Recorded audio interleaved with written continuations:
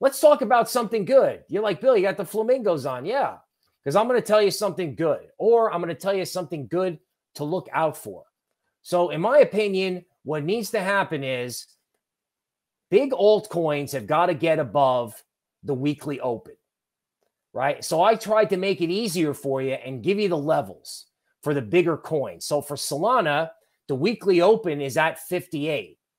Now, Solana can go green, or better yet, flat out do a reversal, right? You see those alligator moving averages like the green, red, and blue line. So those moving averages tell you that there's a lot of momentum to the downside.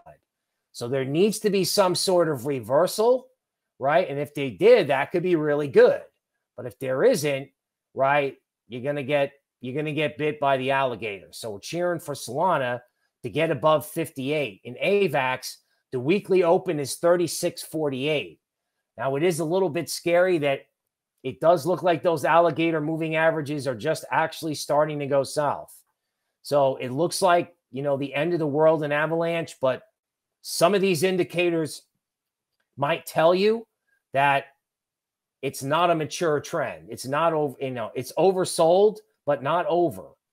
Okay. That's why we want to see green right now. This week, give me some green, right? We get some green, we get some flamingos right?